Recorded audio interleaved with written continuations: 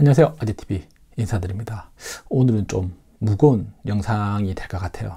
제가 경찰에 신고를 당해서 조사를 받을 뻔했습니다. 아무튼 네. 조금 포장을 한 이야기이긴 한데 실제 경찰에 신고를 당했고 어, 그 죄목은 그거예요. 모의총포법 뭐 관련해 가지고. 근데 뭐 저희 집이 뭐 압수수색이 되고 막 이런 건 아니에요. 뭐 좀 어그로를 끌기 위해서 제목을 좀 과감하게 했는데 제가 항상 저 그 요즘 IDP 슈팅 스포츠를 즐긴다고 했잖아요. 그래서 항상 제가 영상을 찍는다든지 아니면은 뭐 촬영을 한다든지 연습을 할 때 군기시 코리아의 삼청의 사격장에서 많이 사격을 합니다. 그리고 어, IDPA 코리아 카페가 있어요. 네이버 코리아 카페에 활동을 하면서 사진도 많이 올리고요. 근데 어, 그런 것들을 어, 캡처를 하신 것 같아요. 신고자분이. 뭐 어느 분인지는 모르죠. 뭐 아무튼 신고자분이 캡처를 해서 어, 해운대 경찰서에 신고를 어디다가 신고를 하신지는 모르겠어요. 근데 어차피 그 지금 제가 촬영했던 그 장소나 이 어, 이런 사진들 캡처한 것들이 다 그 군기시 코리아 소재지로 되어 있기 때문에 해운대 경찰서로 이관이 되지 않았을까라는 추측 그리고 경찰서에서 해운대 경찰서 소속 그 생활안전계 쪽에서 세 분이 나오셨어요. 나오셔가지고 뭐 오시더니 뭐 대뜸 뭐 이런저런 얘기를 해서 왔는데 보시더니만 뭐 그냥 어그 뭐 혐의 없음 혐의 없음이라 그러나 저도 자세하게는 모르겠어요. 아무튼 뭐 그렇게 어떻게 보면은 좀 해프닝처럼 끝났어요. 왜냐면은 법적으로 문제가 될 게 없으니까 어 칼라파트 되어 있고 뭐 뭐 그 정식 그 생활체육 그 range 허가를 받고 있기 때문에 뭐 파워 브레이크나 이런 것들은 그 안에 한해서 이렇게 크게 뭐 신경을 안 쓰시는 것 같아요. 칼라 파트를 제일 많이 보시더라고요. 그리고 뭐 오셔서 보시는 것들이 조준경들이나 이런 것들인데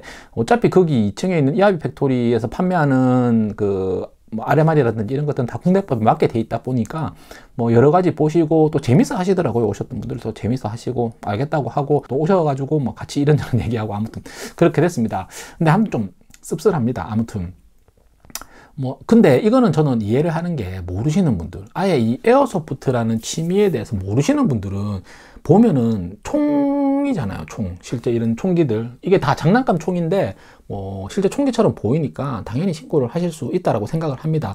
하지만 경찰분들이 보여줬던 캡처 화면들 자체가 어, 일반인들이 캡처할 수 없어요. 왜냐하면 이거는 카페 회원 가입을 해야 되고 제 영상을 찾아봐야 되고 또 이런 부분들 세세하게 내가 찾아서 그거를 일일이 교묘하게 칼라 파트가 없는 부분을 잘라서 캡처를 떴거든요. 분명히 제가 봤을 때는 그래요.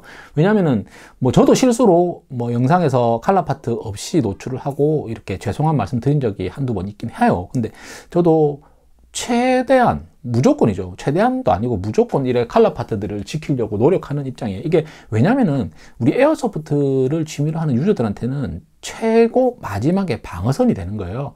뭐 내가 어, 단속을 당하거나 내가 이 장비를 가지고 있다가 경찰에 단속이 돼서 했을 때 음, 칼라 파트가 없으면 이거는 여지가 없이 그냥 내가 그 죄를 받아야 됩니다. 하지만 우리가 기본적으로 지켜야 되는 부분 바로 첫 번째가 칼라 파트라고 말씀드렸죠. 칼라 파트는 항상 하셔야 됩니다. 그래서 뭐 서바이벌 게임장에서 요즘 또 이 국가에서 이제 법을 좀 제정을 바꿔서 게임장이라든지 허가된 사격장 안에서는 탄속 규제를 일본에 준하는 0, 1줄 정도로 풀어준다라는 이런 것들이 있고 실제로 뭐 대법원 판례라든지 법원 판례들을 보면은 칼라 파트라든지 아니면 조준경 이런 것들에 대해서 어 문제가 됐지 파워가 오버돼 가지고 뭐 우리가 딱 서바이벌 게임을 하는데 파워가 오버된다 이런 것들에 대해서는 크게 어, 죄를 묻지 않는 경향들이 많습니다. 판례도 많고요. 아무튼 그런 얘기를 한번 드려보고 싶어요. 참뭐 제가 볼 때는 모르는 사람이 신고를 한 것 같지는 않고 분명히 아는 사람일 거예요. 아는 사람이고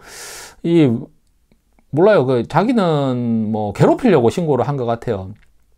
사실 뭐 제 댓글에 보면 악플도 많이 달리는 거 있고 도를 넘는 악플들 같은 경우는 제가 그냥 삭제를 해버리거든요. 뭐 그런데 아무튼 그렇습니다. 제가 유튜브를 취미로 즐기고 있고 지금도 취미로 하고 있지만 지금 벌써 한 지 좀 제법 됐어요. 근데 구독자 수는 그렇게 많지도 않고 조금 이런 작은 유튜브 채널인데도 이렇게 어 애정 어리게 손수 신고도 해주시고 이런 것들 보면은 조금 더 열심히 노력해서 어, 구독자 2만을 넘기고 10만을 향해서 열심히 노력해야 되지 않나 라고 생각이 드는 하루였습니다. 그러면 다음 이 시간에 또 다른 재밌는 영상 제 기존 텐션대로 영상을 찍어서 올리도록 하겠습니다.